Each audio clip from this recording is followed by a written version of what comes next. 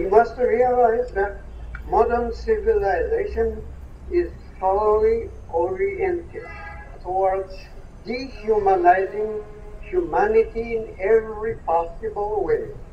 We are fast turning into robots and statues with no human soul. Our task is to get humanized once more. Ladies and gentlemen, what we want most seriously, most urgently, at this very moment is not Shinran Shonin's statue, but his person, most vivaciously alive, and not the person coming out of the pages of history 700 years ago.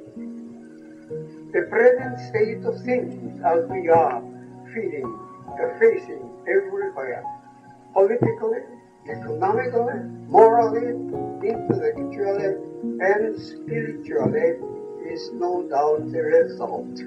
Our past thoughts and deeds we have committed as human beings through the whole history.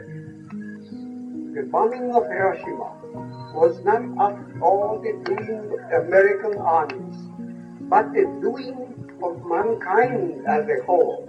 Not as such, we, not only Japanese and Americans, but the whole world are to be held responsible for the wholesale slaughter witnessed 10 years ago in Japan.